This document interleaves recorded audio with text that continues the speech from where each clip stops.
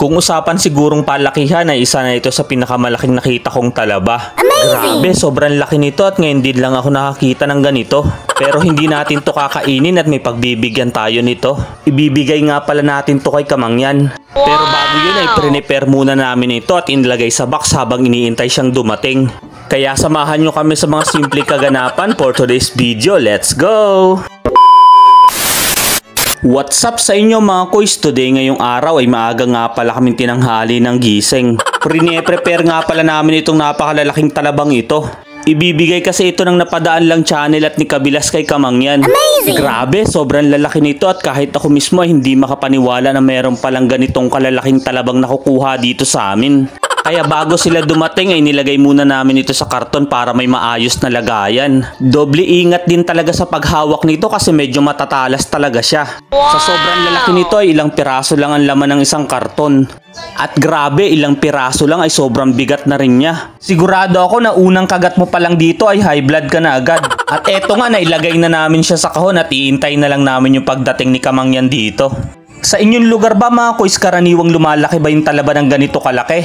Comment down below kung gusto nyo sa mga susunod na araw ay mukbangin din natin ito. At kung nagustuhan nyo yung video ay huwag nyo rin kalimutang i-share. Mga kuys, ano kayang karaniwang masarap na luto dito? Bihira lang din kasi kami makakita ng ganito kalaking talaba.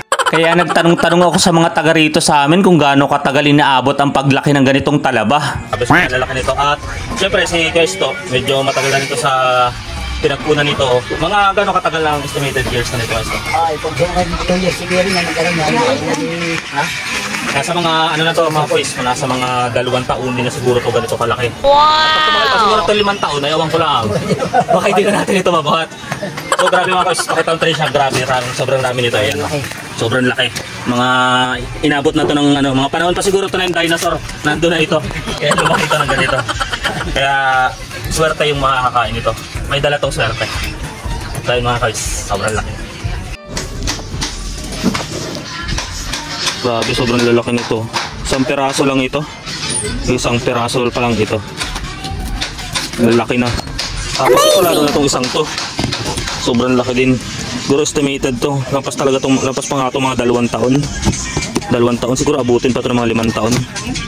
Dati daw kasi itong nasa ano, yung parang lumang palaisdaan na pader. Nadala ng mga agos. Doon sila tumubo. Marami na nakuha ganito mga nakaraan mga kuys pero may mga tira pa rin. Wow! Yung panahon pa ng mga dinosaur to. Grabe, sobrang laki. After that nga ay naghintay lang kami ng mga ilang minuto at paparating na rin pala si Kamangyan. Grabe, sobrang excited din yung ibang mga kamag-anak namin ditong makita siya sa personal. Mamaya-maya pa ay dumating na rin siya sakay ng kanyang sasakyan. At eto nga, bumaba na siya. Saan ang bahay dito? Yang pero ano yun na rin, yung yelo nyo na rin para sigurado kasi sayang naman kung halimbawa ano. Ano nga kailangan kayo? Ano? Ano? Sabi ko sa inyo matangkad si Kamang yan, eh, yun yung maniwala.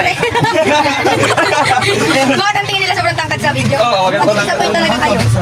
Ay, yung kapatid mo, madam. Ay, ay, asan? Ay, ay, po tatay, parang Jun. Tatay, yan. Kapatid parang June. Yung dalawa. Hindi na. Ano kailangan ko ng medyo matibay na pambukas kasi grabe ka natibay siya ng panahon. Okay. Napaka, napakatibay niya. Oo, kailangan talaga. Saan po natin nakalagay? Tapos buhat natin dito sa Ay, naman. Ano sa'yo, kaya? Na po yan, tapos tulong kasi, ano, Marita di Cabral, luto kailangan yan. Na yung marami ko kayo bahala. Siyempre, sisig, yan ang Sisig nila para masarap. Sobrang laki yan, sobrang, kaya sobrang laki niya, eh, malalim talaga yung kinunan yan kasi sobrang tagal na. Siguro mga ano yan, 5 years or 7 years na siyang gano'n. Mas matagal pa sa relasyon. Unang agad high blood talaga. Saan niya nahuli? Ano? Yan ba sa ano? Yung padiretso dyan, nakikita kita nag-vlog ka dun madam sa ano eh. Yung sabay nahuli ka malaking sugpo. Ah, Okay na. Ano ang pangalan mo? Kaya kay JR. Oh, yun. Kaya kay JR. Ano lang ano?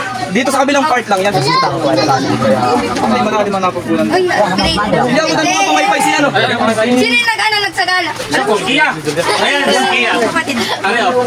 Hindi ako itulan mga muna kami. One, two, three, one, two. May niya. Picture na kayo, saglit lang sila. May napunta sila. Ay, na na. Ayan yung nag-ano sa amin. Eh, nagka-camera. Kapatid ko. Ramo, ito yun ni Kuya. One, two, three. Tara ikaw. Thank you. Kaya paano mo ko naman? Ito kapatid niya. Yes. One, two, three. One, two, three. Hindi ako din nga. Dali, dali, dali. Kami nag-closer tayo. Ay, dun sa- Ah, okay. Di tayo nag-aabot. Hindi na, Dito kami doon. Buti kami naglaman. Sige na. Thank you, papa. Ayun, team putik po. Team putik. Puti, puti. Ay. Si? Dito mo. Sila tatlo. Team Putik. Asan mo? Ay, sa likod. Team Putik lang. Hello po, shout out ho sa Team Putik. I-support ho natin. God bless po. Hello ho mga kamangyan. Andito ho ako sa Napadaan lang channel. Yes, i-support ho natin palagi ang gaganda ng content. Yes. Shout out po Kuya yun. Yes po, ako po yun. Kasama tayo sa Kalangyan. Thank you very much. Kamangyan sa pagawa ng content. Shout out po. Ang thank you kayo po. Bahala pa. Susunod ay sa kubo naman ano. Hey! Hey! Dala kami alimango matapos. Thank you po. Thank you Okay po, ingat po, ingat, ingat sir. Ingat, ingat. Salamat. Salamat. po.